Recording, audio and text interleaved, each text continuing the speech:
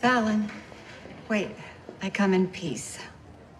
Great. Can you leave in peace? I've been thinking a lot about my behavior lately, and I realize now that in trying to keep my son close, I just pushed him away and I just hurt the girl that he loves. You're just reversing the plot of the notebook. Well, maybe you won't forgive me, but I don't want to miss my son's special day just because I didn't try to make things right. It's time to go, Mother. Okay.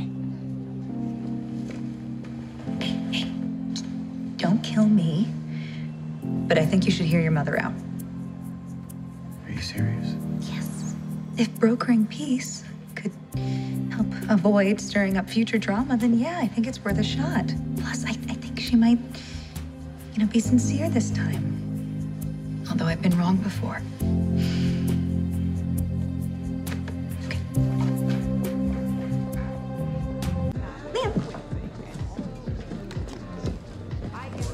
What's he doing here? Who? Him. Oh, that's our new officiant.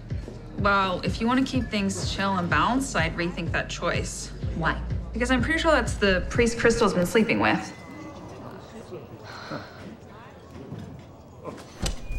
Is that true?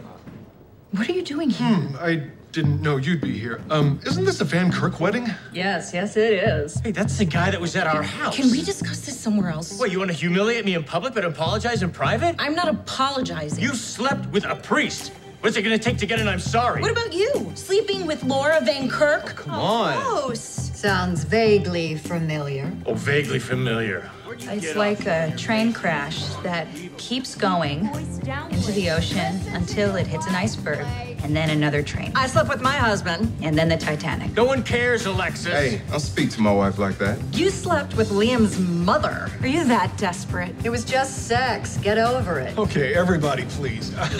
if we just calm down, I'm sure we could talk through this. Yeah, I'm done talking. No, no, no, no. oh. Enough! Everyone, enjoy the party without me, because I'm going home. Fallon. Hey,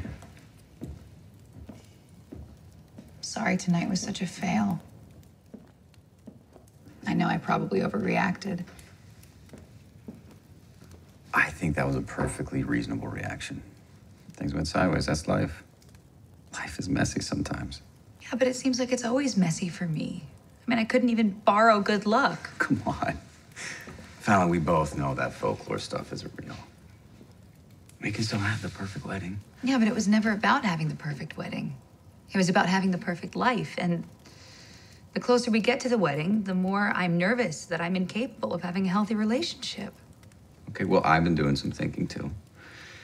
And after that dinner, I am convinced now, more than ever, that nothing can stop us from a happy life. Were we at the same dinner?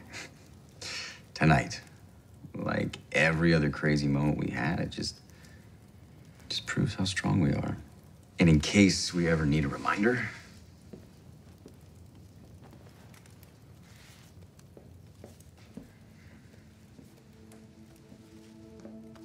hmm. The Holden, Wolfenstone Lounge, Tiny Trouble Bar. Wait, are these? napkins from every day we've been on. Wait, you kept all these? Of course I did. We don't need to borrow something from a lucky couple, not because we are that lucky couple. And we are prepared to clean up any of life's messes. Literally.